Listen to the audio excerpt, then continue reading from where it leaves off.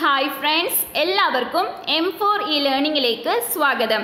കഴിഞ്ഞ ക്ലാസ്സിൽ നമ്മൾ എക്കണോമിക് പ്ലാനിംഗ് എന്താണെന്ന് പഠിച്ചു അല്ലേ? അതേപോലെ തന്നെ ഇന്ത്യയുടെ എക്കണോമിക് പ്ലാനിങ്ങിലെ നാൾ വഴികളെക്കുറിച്ചും പഠിച്ചു ഓക്കെ സോ ഇന്നത്തെ ക്ലാസ്സിൽ നമുക്ക് ഇന്ത്യയുടെ എക്കണോമിക് പ്ലാനിങ്ങിന്റെ ഒബ്ജക്റ്റീവ്സ് എന്തൊക്കെയാണെന്നും അതിനെക്കുറിച്ചുള്ള ഡീറ്റെയിൽഡ് ആയിട്ടുള്ള കാര്യങ്ങളും മനസ്സിലാക്കാം ഓക്കെ സോ ആദ്യമായി ഈ ചാനൽ കാണുന്ന കൂട്ടുകാർ എന്തായാലും ചാനൽ ഒന്ന് സബ്സ്ക്രൈബ് ചെയ്തേക്കണം. അതോടൊപ്പം തന്നെ തൊട്ടടുത്തുള്ള ബെല്ലൈക്കണിൽ ഓൾ കൂടി മറക്കാതെ എനേബിൾ ചെയ്ത് വെച്ചിരിക്കണം. എങ്കിൽ മാത്രമേ ഞാൻ ക്ലാസ്സസ് അപ്ലോഡ് ചെയ്യുമ്പോൾ തന്നെ നിങ്ങൾക്ക് നോട്ടിഫിക്കേഷൻ ലഭിക്കുകയുള്ളൂ. അപ്പോൾ നമുക്ക് ഇന്നത്തെ ഈ ക്ലാസ്സിലോട്ട് കിടക്കാം. സോ കഴിഞ്ഞ ക്ലാസ്സിൽ നമ്മൾ എവിടെയാണ് പഠിച്ചു നിർത്തിയത്? ഇന്ത്യയുടെ എക്കണോമിക് പ്ലാനിങ്ങിന്റെ ഒബ്ജക്റ്റീവ്സ് അല്ലെങ്കിൽ ലക്ഷ്യങ്ങൾ എന്തൊക്കെയാണെന്ന് പറഞ്ഞു. അല്ലേ? ഏതൊക്കെയാണ്? പ്രധാനമായും നാല് ഒബ്ജക്റ്റീവ്സ് ആണ് ഇന്ത്യയുടെ എക്കണോമിക് പ്ലാനിങ്ങിനുള്ളത് ഒന്നാമത്തേത് ഗ്രോത്ത് ആണ് രണ്ടാമത്തേത് മോഡേണൈസേഷൻ മൂന്നാമത്തേത് സെൽഫ് റിലയൻസ് നാലാമത്തേത് ഇക്വിറ്റി ഓക്കെ ഇനി ഇന്ത്യ എക്കണോമിക് പ്ലാനിംഗ് ചെയ്യുന്ന സമയത്ത് ഈ ഒബ്ജക്റ്റീവ്സ് അല്ലെങ്കിൽ ലക്ഷ്യങ്ങളെ തീരുമാനിക്കുന്നത് എന്തിന്റെ അടിസ്ഥാനത്തിലാണ്? It is decided on the basis of needs of the society സമൂഹത്തിന്റെ ആവശ്യങ്ങളുടെ അടിസ്ഥാനത്തിലാണ് എക്കണോമിക് പ്ലാനിംഗ് നടത്തുന്ന സമയത്ത് ഒബ്ജക്റ്റീവ്സ് അല്ലെങ്കിൽ ലക്ഷ്യങ്ങളെ തീരുമാനിക്കുന്നത്. മനസ്സിലായല്ലോ? അപ്പോൾ ഇനി നമുക്ക് ഈ നാല് ഒബ്ജക്റ്റീവ്സിനെ കുറിച്ചും ഡീറ്റെയിൽഡ് ആയിട്ട് പഠിക്കാം. ഓക്കെ സോ ഇനി നമുക്ക് ഇന്ത്യയുടെ എക്കണോമിക് പ്ലാനിങ്ങിന്റെ ആദ്യത്തെ ഒബ്ജക്റ്റീവായ ഗ്രോത്ത് അല്ലെങ്കിൽ വളർച്ചയെക്കുറിച്ച് പഠിക്കാം. Okay economic growth indicates the increase in output of goods and services produced in the country goods and services എന്ന് പറഞ്ഞാൽ സാധനങ്ങളും സേവനങ്ങളുമാണ്. അതേപോലെ എക്കണോമിക് ഗ്രോത്ത് എന്ന് പറഞ്ഞാൽ സാമ്പത്തിക വളർച്ചയാണ്. ഓക്കെ സോ ഒരു രാജ്യത്ത് ഉൽപ്പാദിപ്പിക്കപ്പെടുന്ന മൊത്തം സാധനങ്ങളുടെയും സേവനങ്ങളുടെയും ഉൽപാദനത്തിലെ വർധനവ് എന്തിനെ സൂചിപ്പിക്കുന്നു? എക്കണോമിക് ഗ്രോത്ത് അല്ലെങ്കിൽ സാമ്പത്തിക വളർച്ചയെ സൂചിപ്പിക്കുന്നു. Okay you are familiar with the primary secondary and tertiary sectors of the economy നമുക്കറിയാം ഒരു എക്കണോമീനെ നമുക്ക് മൂന്ന് സെക്ടേഴ്സ് ആയിട്ട് ഡിവൈഡ് ചെയ്യാം. ഏതൊക്കെയാണ്? Primary sector secondary sector and tertiary sector അങ്ങനെയാണെങ്കിൽ economic growth is measured on the basis of growth in output in these sectors ഇങ്ങനെ നമുക്കൊരു എക്കണോമീനെ മൂന്ന് സെക്ടേഴ്സായിട്ട് ഡിവൈഡ് ചെയ്യാമെങ്കിൽ എക്കണോമിക് ഗ്രോത്തിനെ നമുക്ക് എങ്ങനെയാണ് മെഷർ ചെയ്യാനായിട്ട് പറ്റുന്നത്? ഈ ഓരോ സെക്ടേഴ്സിലെയും ഔട്ട്പുട്ടിന്റെ ഗ്രോത്തിന്റെ അടിസ്ഥാനത്തിൽ നമുക്ക് എക്കണോമിക് ഗ്രോത്തിനെ അളക്കാനായിട്ട് സാധിക്കും. മനസ്സിലായല്ലോ ഇനി ഇവിടെ നമ്മൾ മനസ്സിലാക്കി വെക്കേണ്ട ഒരു കാര്യം ഔട്ട്പുട്ട് എന്ന വാക്കുകൊണ്ട് ഉദ്ദേശിക്കുന്നത് അതാത് സെക്ടേഴ്സിലെ പ്രൊഡക്ഷൻ അല്ലെങ്കിൽ ഉൽപാദനം എന്നാണ് okay now increase in output in agriculture and industry improvement in transportation and communication facilities increase in hospitals educational institutions commercial establishments, energy production export etc. Contribute to economic growth ഒരു രാജ്യത്തിന്റെ economic growth അല്ലെങ്കിൽ സാമ്പത്തിക വളർച്ചയിലേക്ക് contribute ചെയ്യുന്ന കാര്യങ്ങൾ എന്തെല്ലാമാണ്? Agriculture സെക്ടറിൽ ഉണ്ടാവുന്ന ഉൽപാദനത്തിലെ വർധനവ് അതേപോലെ ഇൻഡസ്ട്രിയൽ സെക്ടറിലെ ഇംപ്രൂവ്മെന്റ് പിന്നെന്താണ്? Transportation and communication facilities improve ആകുന്നത് ഹോസ്പിറ്റൽസിന്റെ എണ്ണം കൂടുന്നത് എഡ്യൂക്കേഷണൽ ഇൻസ്റ്റിറ്റ്യൂഷൻസ് കൂടുന്നത് അതേപോലെ കൊമേഴ്ഷ്യൽ എസ്റ്റാബ്ലിഷ്മെന്റ്സും എനർജി പ്രൊഡക്ഷനും എക്സ്പോർട്ടും ഈ കാര്യങ്ങളെല്ലാം നല്ല രീതിയിൽ നടക്കുമ്പോൾ അത് എന്തിലേക്ക് കോൺട്രിബ്യൂട്ട് ചെയ്യും? ഒരു രാജ്യത്തിന്റെ എക്കണോമിക് ഗ്രോത്തിലേക്ക് കോൺട്രിബ്യൂട്ട് ചെയ്യും. മനസ്സിലായല്ലോ? Now economic growth is an important objective of economic planning as it contributes to national progress. ഇനി നമ്മൾ പറഞ്ഞു എക്കണോമിക് ഗ്രോത്ത് അല്ലെങ്കിൽ വളർച്ച എന്ന് പറയുന്നത് എന്താണ് എക്കണോമിക് പ്ലാനിങ്ങിന്റെ ഒരു ഇമ്പോർട്ടന്റ് ആയിട്ടുള്ള ഒബ്ജക്റ്റീവാണ് അങ്ങനെ പറയാനുള്ള കാരണം എന്താണ്? Because economic growth contributes to national progress ഒരു രാജ്യത്തിന്റെ സാമ്പത്തിക വളർച്ച എന്തിലേക്ക് നയിക്കുന്നുണ്ട്? രാജ്യത്തിന്റെ തന്നെ ഉന്നമനത്തിലേക്ക് നയിക്കുന്നുണ്ട്. മനസ്സിലായല്ലോ? സോ നമ്മളിപ്പോൾ പഠിച്ചത് ഇന്ത്യയുടെ എക്കണോമിക് പ്ലാനിങ്ങിന്റെ ആദ്യത്തെ ലക്ഷ്യമായ ഗ്രോത്ത് അല്ലെങ്കിൽ വളർച്ചയെക്കുറിച്ചാണ്. ഓക്കെ സോ ഇനി നമുക്ക് ഇന്ത്യയുടെ എക്കണോമിക് പ്ലാനിങ്ങിന്റെ രണ്ടാമത്തെ ഒബ്ജക്റ്റീവായ മോഡേണൈസേഷൻ അല്ലെങ്കിൽ ആധുനികവൽക്കരണത്തെക്കുറിച്ച് പഠിക്കാം. Okay developments in machinery and technology have led to increase in productivity and simplification of manual labour നമുക്കറിയാം ഇന്ന് മനുഷ്യർ തന്നെ എല്ലാ കാര്യങ്ങളും ചെയ്യുന്നതിന് പകരം നമ്മൾ പല കാര്യങ്ങൾക്കും മെഷീൻസും അതേപോലെ തന്നെ ടെക്നോളജിയൊക്കെയാണ് ഉപയോഗിക്കുന്നത്. അല്ലേ? സോ ഇങ്ങനെയുള്ള മെഷീൻസിന്റെയും അതേപോലെ ടെക്നോളജിയിലെയും ഡെവലപ്മെന്റ്സ് എന്തിലേക്ക് നയിച്ചു? ഓരോ സെക്ടേഴ്സിന്റെയും പ്രൊഡക്ടിവിറ്റി ഇൻക്രീസ് ആക്കാനും അതേപോലെ തന്നെ മാനുവൽ ലേബർ സിംപ്ലിഫൈ ചെയ്യാനും സഹായിച്ചു. മാനുവൽ ലേബർ സിംപ്ലിഫൈ ചെയ്യുക എന്ന് പറഞ്ഞാൽ മനുഷ്യർ വളരെ ബുദ്ധിമുട്ടോടുകൂടി പണ്ട് ചെയ്തിരുന്ന പല കാര്യങ്ങളും ഇന്ന് മെഷീൻസിന്റെ സഹായത്തോടു കൂടി എളുപ്പത്തിൽ കുറഞ്ഞ സമയം കൊണ്ട് ചെയ്യാൻ സാധിക്കുന്നുണ്ട്. Okay modernization is making use of latest technology modernization അല്ലെങ്കിൽ ആധുനികവൽക്കരണം കൊണ്ട് എന്താ ഉദ്ദേശിക്കുന്നത്? ആധുനിക ടെക്നോളജിയെ ഉപയോഗപ്പെടുത്തുക എന്നതാണ് മോഡേണൈസേഷൻ കൊണ്ട് അർത്ഥമാക്കുന്നത്. അതായത് ആധുനിക സാങ്കേതിക വിദ്യകളെ ഉപയോഗപ്പെടുത്തുന്നതിനെയാണ് മോഡേണൈസേഷൻ അല്ലെങ്കിൽ ആധുനികവൽക്കരണം എന്ന് പറയുന്നത്. Okay Now, modernization has improved the pace of travel and movement of goods. Modernization വന്നതിലൂടെ നമുക്ക് ട്രാവലിംഗ് ഈസി ആക്കാനായിട്ട് സാധിക്കുന്നുണ്ട്. അതേപോലെ തന്നെ ഒരു സ്ഥലത്ത് നിന്നും മറ്റൊരു സ്ഥലത്തേക്ക് ഗുഡ്സ് അല്ലെങ്കിൽ ചരക്ക് എളുപ്പത്തിൽ എത്തിക്കാനും സാധിക്കുന്നുണ്ട്. It has brought economic progress and saving of time മോഡേണൈസേഷനിലൂടെ economic progress കൈവരിക്കാൻ സാധിച്ചു. അതേപോലെ തന്നെ സമയം ലാഭിക്കാനും സാധിച്ചു. ഒരു ഉദാഹരണത്തിന് പണ്ട് നമ്മൾ കാളവണ്ടിയും കുതിരവണ്ടിയും ഒക്കെ ഉപയോഗിച്ചിരുന്ന സ്ഥാനത്ത് ഇന്ന് നമ്മൾ വീലുകളുള്ള ഓട്ടോമൊബൈൽസ് ആണ് ഉപയോഗിക്കുന്നത്. നമുക്കറിയാം ഇത് രണ്ടും തമ്മിലുള്ള സ്പീഡ് ഡിഫറൻസ് എന്തോരാണെന്ന്. അതേപോലെ മോഡേണൈസേഷൻ ഓരോ സെക്ടേഴ്സിലും ഒരുപാട് സമയം ലാഭിക്കാനായിട്ട് സഹായിക്കുന്നുണ്ട്. മനസ്സിലായല്ലോ? Now modern means of communication improve the living conditions and security.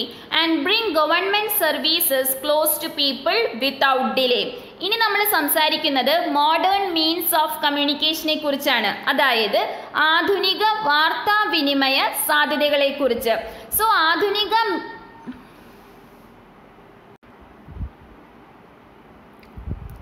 Now, modern means of communication improve the living conditions and security and bring government services close to people without delay. So ഇനി നമ്മൾ പറയുന്നത് modern means of കമ്മ്യൂണിക്കേഷനെ കുറിച്ചാണ് അതായത് ആധുനിക വാർത്താവിനിമയ സാധ്യതകളെ കുറിച്ച് so ആധുനിക വാർത്താവിനിമയ സാധ്യതകൾ നമ്മളെ എങ്ങനെയൊക്കെയാണ് സഹായിക്കുന്നത്? നമ്മുടെ ലിവിങ് കണ്ടീഷൻസ് ഇംപ്രൂവ് ആക്കാൻ സഹായിക്കുന്നുണ്ട്. അതേപോലെ നമുക്ക് സെക്യൂരിറ്റി അല്ലെങ്കിൽ സുരക്ഷിതത്വം നൽകുന്നുണ്ട്. സോ എങ്ങനെയാണ് ഈ കമ്മ്യൂണിക്കേഷൻ മീൻസ് നമുക്ക് സുരക്ഷിതത്വം നൽകുന്നത്? നമുക്കറിയാം കുട്ടികളുടെ സുരക്ഷയ്ക്ക് വേണ്ടിയുള്ള ടോൾ ഫ്രീ നമ്പേഴ്സ് ഇന്ന് അവൈലബിൾ ആണ്. അതേപോലെ സ്ത്രീകളുടെ സുരക്ഷയ്ക്കുള്ള ടോൾ ഫ്രീ നമ്പേഴ്സ് അവൈലബിൾ ആണ്. അങ്ങനെ മറ്റ് പല മേഖലകളിലും സുരക്ഷാ സംബന്ധമായ കാര്യങ്ങൾ കമ്മ്യൂണിക്കേഷൻ മീൻസിലൂടെ നമുക്ക് ലഭിക്കുന്നുണ്ട്. അതേപോലെ തന്നെ it brings government services close to people without delay so ഇതിനൊരു എക്സാമ്പിൾ ആണ് അക്ഷയ സെന്റേഴ്സ് ഗവൺമെന്റ് സർവീസസ് ഇന്ന് എളുപ്പത്തിൽ നമുക്ക് അക്ഷയ സെന്റേഴ്സിലൂടെ ഓൺലൈനായിട്ട് അപ്ലൈ ചെയ്ത് ലഭിക്കുന്നുണ്ട്. ശരിയാണല്ലോ? Now, modernization is not only using latest technology but also making a change in perception of the society. So, modernization കൊണ്ട് ഉദ്ദേശിക്കുന്നത് ലേറ്റസ്റ്റ് ടെക്നോളജി ഉപയോഗിക്കുക എന്ന് മാത്രമല്ല പക്ഷേ നമ്മുടെ സൊസൈറ്റിയുടെ കാഴ്ചപ്പാടിനെ കൂടി മാറ്റുക എന്നാണ് മനസ്സിലായല്ലോ Now, modernization involves protection of women rights, social security and openness to social changes. So മോഡേണൈസേഷനിൽ എന്തെല്ലാം കാര്യങ്ങളാണ് വരുന്നത് ആധുനിക ടെക്നോളജിയും മെഷീൻസും ഉപയോഗിക്കുക അതിനോടൊപ്പം തന്നെ സ്ത്രീകളുടെ റൈറ്റ്സിനെ പ്രൊട്ടക്റ്റ് ചെയ്യുക സോഷ്യൽ സെക്യൂരിറ്റി ഉറപ്പുവരുത്തുക പിന്നെ എന്താണ് സോഷ്യൽ ചേഞ്ചസ് വരുത്തുക. സോ ഇങ്ങനെയുള്ള കാര്യങ്ങളൊക്കെയാണ് മോഡേണൈസേഷൻ അല്ലെങ്കിൽ ആധുനികവൽക്കരണം കൊണ്ട് ഉദ്ദേശിക്കുന്നത്. സോ ഇത്രയും മനസ്സിലാക്കുക. ജസ്റ്റ് പുതിയ ടെക്നോളജി ഉപയോഗിക്കുക അല്ലെങ്കിൽ മെഷീനറി ഉപയോഗിക്കുക എന്ന് മാത്രമല്ല സൊസൈറ്റിയിൽ കൂടി ആ മാറ്റങ്ങൾ അല്ലെങ്കിൽ മനുഷ്യർക്കിടയിൽ കൂടി ആ മാറ്റങ്ങൾ കൊണ്ടുവരാൻ സാധിക്കുമ്പോഴാണ് മോഡേണൈസേഷൻ എന്ന് നമുക്ക് പറയാനായിട്ട് സാധിക്കുന്നത്. മനസ്സിലായല്ലോ? സോ ഇനി നമുക്ക് ഇന്ത്യയുടെ എക്കണോമിക് പ്ലാനിങ്ങിന്റെ മറ്റൊരു ഒബ്ജക്റ്റീവ് ആയിട്ടുള്ള സെൽഫ് റിലയൻസ് അല്ലെങ്കിൽ സ്വാശ്രയത്വത്തെക്കുറിച്ച് പഠിക്കാം. Okay do you have a kitchen garden at home നിങ്ങളുടെ വീട്ടിൽ ഒരു അടുക്കളത്തോട്ടമുണ്ടോ if you can grow vegetables your dependence on market can be minimised നമ്മുടെ വീടുകളിൽ നമുക്ക് ആവശ്യമായിട്ടുള്ള അത്യാവശ്യം പച്ചക്കറികളൊക്കെ നമ്മൾ തന്നെ ഉൽപ്പാദിപ്പിച്ചാൽ മാർക്കറ്റിനെ ആശ്രയിക്കുന്നത് നമുക്ക് കുറയ്ക്കാനായി ആയിരിക്കും ഓക്കെ സോ അതിലൂടെ എന്താ സംഭവിക്കുന്നത്? It enables the use of human resource and brings economic gain so അടുക്കള തോട്ടങ്ങളിൽ നമ്മൾ പ്രത്യേകിച്ച് ഇൻപുട്ട് ഒന്നും നൽകേണ്ട ആവശ്യമില്ല. നമ്മുടെ കുറച്ച് സമയവും അതേപോലെ കിച്ചണിൽ നിന്ന് തന്നെ കിട്ടുന്ന വേസ്റ്റ് ഒക്കെ ഉപയോഗിച്ചാണ് നമ്മൾ ഈ അടുക്കള തോട്ടം വളർത്തിക്കൊണ്ടുവരുന്നത് എന്നാൽ അതിൽ നിന്ന് നമുക്ക് എന്ത് ലഭിക്കുന്നുണ്ട്? എക്കണോമിക് ഗെയിൻ ലഭിക്കുന്നുണ്ട്. കാരണം ഇപ്പം നമ്മൾ കൂടുതലായും മാർക്കറ്റിനെ ഡിപ്പെൻഡ് ചെയ്യേണ്ടി വരുന്നില്ല. ശരിയാണല്ലോ? Now you have learned about the condition of food production in India at the time of independence നമുക്കറിയാം ഇന്ത്യയ്ക്ക് സ്വാതന്ത്ര്യം കിട്ടിയ ആ സമയത്ത് ഇന്ത്യയുടെ പോപ്പുലേഷനെ ഫീഡ് ചെയ്യാനായിട്ടുള്ള ഫുഡ് ഇന്ത്യയിൽ തന്നെ പ്രൊഡ്യൂസ് ചെയ്യാനായിട്ട് സാധിച്ചിരുന്നില്ല. സോ അന്ന് നമ്മൾ എന്താ ചെയ്തിരുന്നത്? Our dependence on other countries for food grains has worsen the situation so നമ്മുടെ പോപ്പുലേഷനെ ഫീഡ് ചെയ്യാൻ വേണ്ട ആഹാരം നമ്മൾ മറ്റ് കൺട്രീസിൽ നിന്നും ഇമ്പോർട്ട് ചെയ്യുകയാണ് ചെയ്തിരുന്നത്. സോ അത് ഇന്ത്യയുടെ എക്കണോമിനെ തകർത്തിരുന്നു അന്നത്തെ ഒരു സാഹചര്യത്തിൽ. Okay now the aim of self-reliance is to attain self-sufficiency in agricultural, industrial and service sectors using the available resources and to avoid foreign dependence. So, self-reliance അല്ലെങ്കിൽ സ്വാശ്രയത്വം കൊണ്ട് എന്താണ് ഉദ്ദേശിക്കുന്നത് നമുക്ക് സെൽഫ് സഫിഷ്യൻസി ഉണ്ടാകണം ഏതെല്ലാം മേഖലകളിൽ അഗ്രികൾച്ചറൽ സെക്ടറിൽ അതേപോലെ ഇൻഡസ്ട്രിയൽ സെക്ടറിൽ പിന്നെന്താണ്? Service sectors. ഇതിലെല്ലാത്തിലും നമ്മൾ സെൽഫ് സഫീഷ്യന്റ് ആയിരിക്കണം. അതായത് നമുക്ക് വേണ്ടത് നമ്മൾ തന്നെ നമ്മുടെ രാജ്യത്ത് തന്നെ ഉൽപ്പാദിപ്പിക്കണം. ഓക്കെ? അങ്ങനെ വരുമ്പോൾ എന്താണ് സംഭവിക്കുന്നത്? നമുക്ക് ഫോറിൻ ഡിപ്പെൻഡൻസ് കുറയ്ക്കാനായിട്ട് സാധിക്കും. മറ്റ് രാജ്യങ്ങളെ നമ്മുടെ ആവശ്യത്തിന് വേണ്ടി ഡിപ്പെൻഡ് ചെയ്യുന്നത് കുറയ്ക്കാനായിട്ട് സാധിക്കും. മനസ്സിലായല്ലോ? Now self reliance in development of basic industries and energy will help the economic growth of the nation so ഇങ്ങനെ നമ്മൾ സെൽഫ് റിലയന്റ് ആയിട്ടുണ്ടെങ്കിൽ അത് എന്തിലേക്ക് നയിക്കും? രാജ്യത്തിന്റെ എക്കണോമിക് ഗ്രോത്തിലേക്ക് നയിക്കും. അതായത് നമ്മൾ മറ്റുള്ളവരെ ഡിപ്പെൻഡ് ചെയ്യേണ്ട നമുക്ക് അവൈലബിൾ ആയിട്ടുള്ള റിസോഴ്സസ് ഉപയോഗിച്ച് നമുക്ക് വേണ്ട കാര്യങ്ങളെല്ലാം നമ്മുടെ രാജ്യത്ത് തന്നെ ഉൽപ്പാദിപ്പിക്കുകയാണെങ്കിൽ മറ്റ് രാജ്യത്തെ ഡിപ്പെൻഡ് ചെയ്യാതെ വരുമ്പോൾ തന്നെ അത് നമ്മുടെ രാജ്യത്തിന്റെ സാമ്പത്തിക വളർച്ചയിലേക്ക് നയിക്കുന്നുണ്ട്. ഓക്കെ സോ ഇനി നമുക്ക് എക്കണോമിക് പ്ലാനിങ്ങിന്റെ അവസാനത്തെ ഒബ്ജക്റ്റീവായ ഇക്വിറ്റി അല്ലെങ്കിൽ തുല്യതയെക്കുറിച്ച് പഠിക്കാം. ഓക്കെ സോ ഈ ടോപ്പിക്ക് പഠിക്കുമ്പോൾ ബേസിക് റിക്വയർമെന്റ്സ് എന്തൊക്കെയാണെന്ന് മനസ്സിലാക്കണം. സോ എന്തൊക്കെയാണ് ഒരു മനുഷ്യനെ സംബന്ധിച്ചിടത്തോളം ബേസിക് നീഡ്സ് ഒന്നാമത്തേത് ഫുഡ് അല്ലെങ്കിൽ ആഹാരമാണ്. രണ്ടാമത്തേത് വസ്ത്രം അല്ലെങ്കിൽ ക്ലോത്തിങ് ആണ്. പിന്നെന്താണ്? ഷെൽട്ടർ അല്ലെങ്കിൽ താമസിക്കാനുള്ള സൗകര്യം. പിന്നെന്താണ് ലിറ്ററസി അതായത് നമുക്ക് വേണ്ട ബേസിക് എഡ്യൂക്കേഷൻ ഓക്കെ സോ ഈ കാര്യങ്ങളെല്ലാമാണ് ഒരു മനുഷ്യനെ സംബന്ധിച്ചിടത്തോളം ബേസിക് നീഡ്സ് എന്ന് പറയുന്നത്. Okay now the objective of equity will be attained when all citizens receive basic necessities of life such as food clothing shelter education drinking water health protection and righteous distribution of wealth നമുക്ക് എപ്പോഴാണ് equity എന്ന ഒരു ലക്ഷ്യം attain ചെയ്യാൻ പറ്റി എന്ന് പറയാൻ പറ്റുന്നത്? അതായത് തുല്യത എപ്പോഴാണ് അറ്റൈൻ ചെയ്യുന്നത്? ഒരു രാജ്യത്തെ എല്ലാ സിറ്റിസൺസിനും ബേസിക് നെസസിറ്റീസ് ലഭ്യമാകുമ്പോഴാണ് ഒരു രാജ്യത്ത് തുല്യത നടപ്പിലായി എന്ന് പറയാൻ സാധിക്കുന്നത്.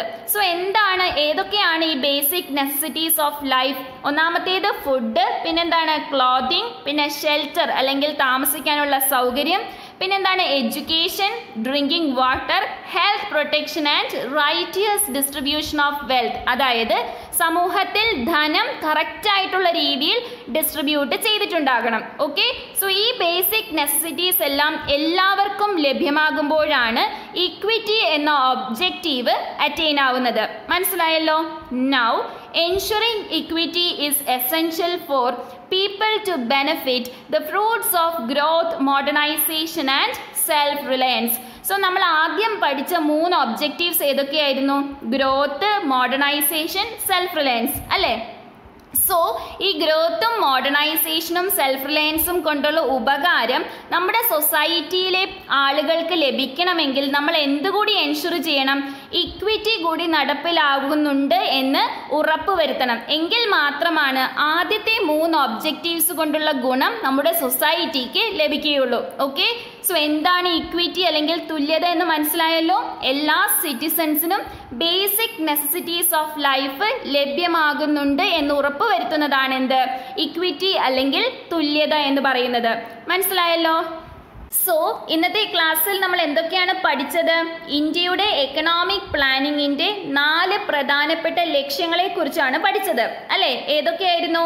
ഗ്രോത്ത് അല്ലെങ്കിൽ വളർച്ച മോഡേണൈസേഷൻ അല്ലെങ്കിൽ ആധുനികവൽക്കരണം പിന്നെ മൂന്നാമത്തേത് ഏതായിരുന്നു? സെൽഫ് റിലയൻസ് അല്ലെങ്കിൽ സ്വാശ്രയത്വം പിന്നെ അവസാനമായി പഠിച്ചത് ഇക്വിറ്റി അല്ലെങ്കിൽ തുല്യതയാണ്. ഓക്കെ സോ ഇന്നത്തെ ക്ലാസ് നിങ്ങൾക്ക് മനസ്സിലായിട്ടുണ്ടാകുമെന്ന് വിചാരിക്കുന്നു. നിങ്ങളുടെ അഭിപ്രായങ്ങളും നിർദ്ദേശങ്ങളും കമന്റായി അറിയിക്കാൻ മറക്കരുത്.